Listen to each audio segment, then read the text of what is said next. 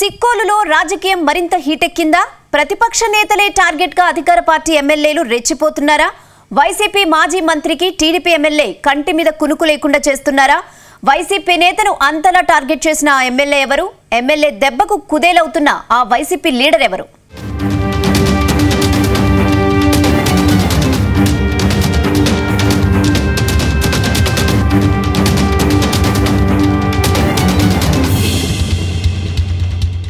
శ్రీకాకుళం జిల్లాలోని పలాసలో రాజకీయం హాట్ హాట్గా మారిపోయింది. అధికార టీడీపీ ప్రతిపక్ష వైసీపీ నేతల మధ్య నువ్వా నేనా అన్నట్టుగా డైలాగ్ వార్ నడుస్తోంది. గత వైసీపీ ప్రభుత్వంలో టీడీపీ నేతలను వైసీపీ పెద్దలు టార్గెట్ చేశారనే ఆరోపణలు ఉన్నాయి. ముఖ్యంగా టీడీపీ కీలక నేతగా ఉన్న గౌతు శిరీషను రాజకీయంగా ఇబ్బందులకు గురిచేశారు ఇప్పుడు రాష్ట్రంలో పార్టీ మారడంతో పరిస్థితులు పూర్తిగా మారిపోయాయి. గతంలో తమకు ఎదురు లేదని చెలరేగిన వైసీపీ లీడర్లు ఇప్పుడు ఇంటికే పరిమితం కావాల్సిన పరిస్థితులు తలెత్తాయని జిల్లాలో ప్రచారం జరుగుతోంది.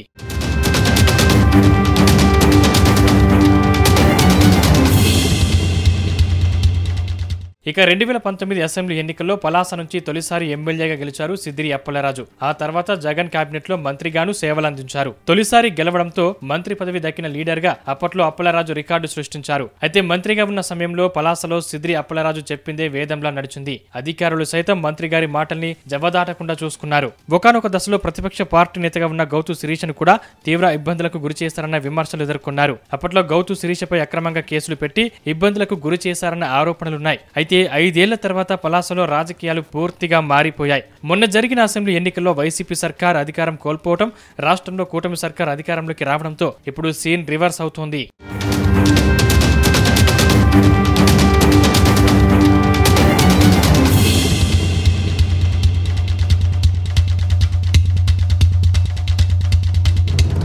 మొన్న జరిగిన అసెంబ్లీ ఎన్నికల్లో పలాసలో సిదిరి అప్పలరాజు ఘోరంగా ఓడిపోయారు. అక్కడ తెలుగుదేశం పార్టీ సీనియర్ నేత గౌతు శిరీష అధికారం చేపట్టారు. తమ ప్రభుత్వం అధికారంలోకి రావడమే ఆలస్యం అన్నట్టుగా నేరుగా మాజీ మంత్రిని టార్గెట్ చేశారు. ప్రస్తుతం మాజీ మంత్రి సీదిరి అప్పలరాజును ఇంటికే పరిమితం చేసినట్టు వైసీపీ నేతలు ఆరోపించారు. పలాసలో శాంతి భద్రతలు లేవని విరుచుకుపడ్డారు. పోలీస్ స్టేషన్లకు కూడా పసుపు రంగులు వేసేలా టీడీపీ నేతలు తెగించారని ఆరోపించడం సంచలనంగా మారింది. అంతేకాదు పలాసలో వైసీపీ కార్యకర్తలను కొట్టి తిరిగి వారి మీదనే కేసులు పెడుతున్నారని మండిపడుతున్నారు.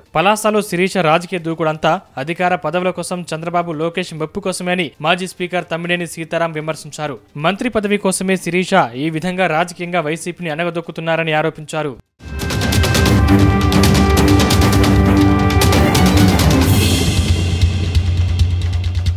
అంతేకాదు శాంతియుతంగా ఉండే పలాసను రావణ కాష్టంలో మార్చేసిన ఘనత గౌతు సురేష్ది అంటున్నారు వైసీపీ నేతలు.